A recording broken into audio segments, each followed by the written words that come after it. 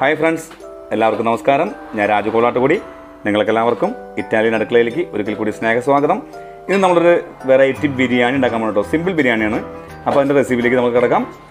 നമ്മൾ ഇന്ന് എടുത്തിരിക്കുന്നത് ഒരു ഒൻപത് സ്പൂൺ നറുനെയ്യ് ഒരു ഏഴ് സ്പൂണ് സൺഫ്ലവറിന്റെ ഓയിൽ ഒരു ഇരുപത്തഞ്ച് ഗ്രാം ഇഞ്ചി ഇരുപത്തഞ്ച് ഗ്രാം വെളുത്തുള്ളി ഒരു ഏഴ് പച്ചമുളക് ഒരു ഒൻപത് പീസ് കറുവപ്പട്ട ഒരു പതിനേഴ് ഏലക്കായ ഒരു പതിനഞ്ച് ഗ്രാമ്പു ഒരു രണ്ട് സ്പൂണ് പെരിഞ്ജീരകം ഒരു മൂന്ന് സവോള മീഡിയം സൈസ് നമ്മൾ ചെറുതായിട്ട് ചോപ്പ് ചെയ്തെടുത്തിട്ടുണ്ട്.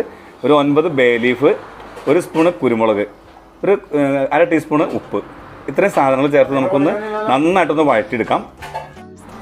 നമ്മൾ ഇന്നത്തെ ബിരിയാണിക്ക് എടുത്തിരിക്കുന്നത് നാല് കിലോ ബസ്മതി റൈസാണ് അപ്പോൾ നാല് കിലോ ബസ്മതി റൈസ് നമ്മളൊരു നാല് പ്രാവശ്യം വെള്ളത്തിൽ കഴുകി ഊറ്റിയെടുത്തിട്ട് അതിനകത്ത് നമ്മൾ വെള്ളം സോക്ക് ചെയ്യാൻ വെച്ചേക്കാം കേട്ടോ നന്നായിട്ടൊന്ന് കുതിർന്ന് വരണം. ഒരു മണിക്കൂർ നമ്മൾ വെള്ളത്തിൽ കുതിർത്തെടുക്കും അപ്പോൾ ഒന്ന് കുതിർന്ന് വരട്ടെ നമ്മൾ ബിരിയാണിക്കുള്ള പാത്രം അടുത്തേക്ക് വെച്ചു. വെള്ളം ചേർത്ത് കൊടുക്കാൻ കേട്ടോ നമ്മൾ എടുത്തിരിക്കുന്നത് നാല് കിലോ അരിയാണ്. അപ്പോൾ അതിന് ഒരു കിലോ അരിക്ക് ഒന്നര ലിറ്റർ വെള്ളം. അങ്ങനെ ആറ് ലിറ്റർ വെള്ളമാണ് നമ്മൾ ചേർത്ത് കൊടുക്കുന്നത് നമ്മൾ അടുപ്പത്തേക്ക് വെച്ചാൽ വെള്ളത്തിലേക്ക് മുൻപ് വഴറ്റിയെടുത്ത സാധനങ്ങൾ ചേർത്ത് കൊടുക്കാൻ കേട്ടോ ഒരു അഞ്ച് സ്പൂൺ ഉപ്പ് കണക്കാക്കി കല്ലുപ്പ് ചേർത്ത് കൊടുക്കുന്നുണ്ട്. എപ്പോഴും വെള്ളത്തിലേക്കായും കുറച്ചുകൂടി ഉപ്പ് മുൻപ് നിൽക്കണം എന്നാലേ നമുക്ക് ചോറിന് ഉപ്പുണ്ടാവുള്ളൂ. പിന്നെ നമുക്ക് നോക്കിയിട്ട് വേണമെങ്കിൽ പിന്നെ ചേർത്ത് കൊടുക്കാം. നന്നായിട്ടൊന്ന് ഇളക്കാം. എന്നിട്ട് വെള്ളത്തിൽ ഈ ഉപ്പ് അലിഞ്ഞ് കഴിയുമ്പോൾ ഒന്ന് ടേസ്റ്റ് ചെയ്ത് നോക്കണം.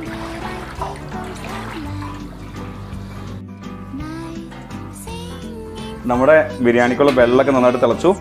നമ്മൾ അരി കഴുകി വെച്ചിരുന്നത് ചേർത്ത് കൊടുക്കാൻ വേണ്ടി പോകാൻ കേട്ടോ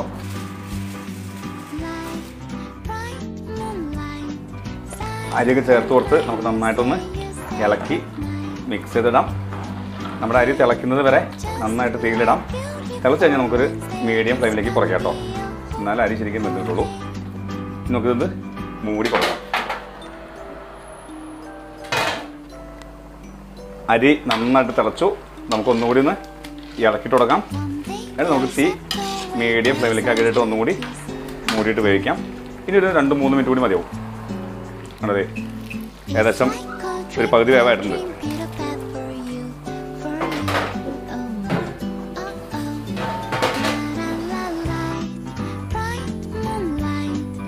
അപ്പോൾ നമ്മുടെ ബിരിയാണിക്ക് നല്ല കറക്റ്റ് പാകത്തിന് വെന്ത് കിടപ്പുണ്ട്. ഇനി ഞാൻ സ്റ്റവ് ഒന്ന് ഓഫാക്കാൻ വേണ്ടി പോവാണ്. ഒരു അഞ്ച് പത്ത് മിനിറ്റ് നമുക്കൊന്ന് മൂടിയിടാം. നമ്മുടെ ബിരിയാണിയിലേക്കുള്ള സബോള വറുത്ത് വെച്ചെന്താണത് നല്ല ഡ്രൈ ആയിട്ട് വറുത്ത് വെച്ചിട്ടുണ്ട് ഇത് മുന്തിരിയാണ്. ഒരു ഇരുന്നൂറ്റമ്പത് ഗ്രാം മുന്തിരി ഒരു മുന്നൂറ് ഗ്രാം കശുവണ്ടി വറുത്ത് വെച്ചിട്ടുണ്ട്. ഇതൊക്കെ ചേർത്താണ് നമ്മൾ ഗാർണിഷ് ചെയ്യുന്നത് കേട്ടോ. നമ്മുടെ ചോറൊക്കെ നല്ല അടിപൊളിയായിട്ടുണ്ട് കേട്ടോ. അപ്പോൾ നമ്മൾ ചോറൊന്ന് സെറ്റ് ചെയ്യാൻ വേണ്ടി പോവാണേ. അപ്പോൾ നമ്മുടെ ബിരിയാണിക്ക് നമ്മൾ സെറ്റ് ചെയ്തു. ഒരു ലെയർ ചോറ്. അത് കഴിഞ്ഞിട്ട് നമ്മുടെ ഗാർണിഷ് ചെയ്യാൻ വെച്ചിരുന്ന കശുവണ്ടി സബോള വറുത്തത്. മുന്തിരി ഇതെല്ലാം കൂടി ചേർത്ത് കൊടുത്തിട്ടുണ്ട്. അപ്പോൾ ഫൈനൽ റൗണ്ട് എല്ലാം കഴിഞ്ഞു കേട്ടോ എസൻസും നാല് തരം എസൻസും കൂടി ചേർത്ത് കൊടുത്തിട്ടുണ്ട് കേട്ടോ വാനില എസൻസ് ഓറഞ്ചിന്റെ എസൻസ് പൈനാപ്പിൾ എസൻസ് പിന്നെ ഏലക്കായുടെ എസൻസ് ഇത്ര സാധനം ചേർത്ത് കൊടുത്തിട്ടുണ്ട്. അപ്പോൾ ഇനി നമ്മൾ പാത്രം ക്ലോസ് ചെയ്യാൻ വേണ്ടി പോവാണ്. അപ്പോൾ ഈ വീഡിയോ നിങ്ങൾക്ക് എല്ലാവർക്കും ഉപകാരപ്രദമായി ഞാൻ വിചാരിക്കുന്നു. അപ്പോൾ എന്റെ ചാനൽ ആദ്യമായിട്ട് കാണുന്നവരുണ്ടെങ്കിൽ ഒന്ന് സബ്സ്ക്രൈബ് ചെയ്യണം. അതുപോലെ ലൈക്കും കമന്റും ചെയ്ത് സപ്പോർട്ട് ചെയ്യണം കേട്ടോ അടുത്ത വീഡിയോയിൽ കാണുന്നവരെ എല്ലാവർക്കും നമസ്കാരം.